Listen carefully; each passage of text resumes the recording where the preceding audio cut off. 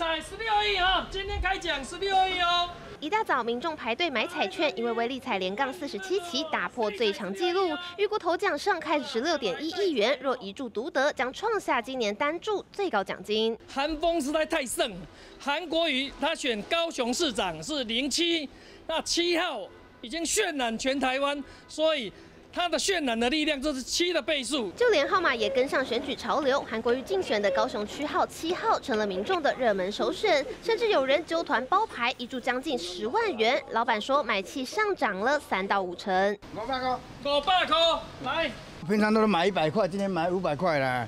那今天怎么会想要多买一点？哎，奖金太多了吧。